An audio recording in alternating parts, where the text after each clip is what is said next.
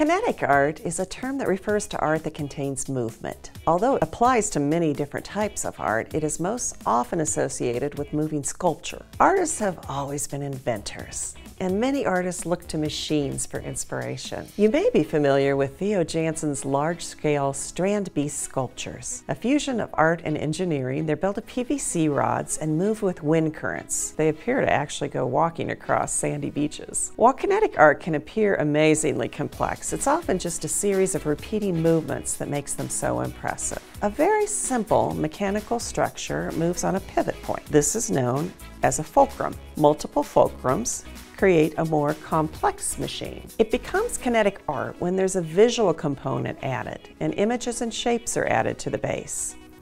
Like this piece I have right here. They can expand and contract, move and transform.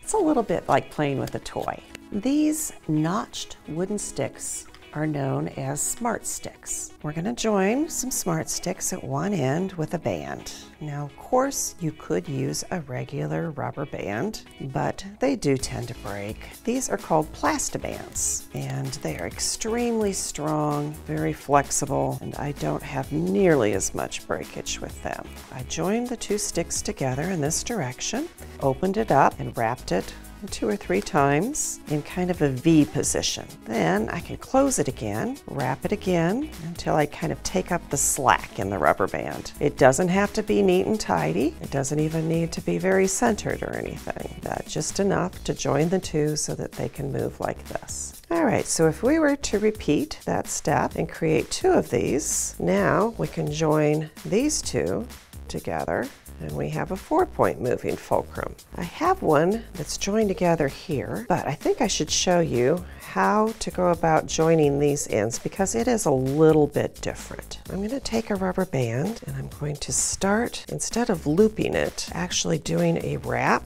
And now wrapping it around the notches with one end. I'm going to do the same with this. You can't get a rubber band to wrap quite the same way from this angle. And then we would go wrap this end. We'll end up with a diamond shape like this. Now if we add two more to these ends, we're going to end up with handles. So it gives us something to hold on to to create the movement with. Next, we're gonna put a series of shapes to go on top of the structure. These can be the same shape repeated again and again, different shapes. They can be representational or just shapes. These are cut from pieces of Royal Code double-sided cardstock. This package comes with a huge variety of colors. There's one on each side. One side has a gloss coating, the other is matte. So you've got a wide variety of choices. Plus they're just the right amount of weight to work for this project. So I have some hands cut out of this. I'm going to just First of all, place one on the front side of the sculpture and I'm using a little quick dry tacky glue. I'm just going to place that into the glue.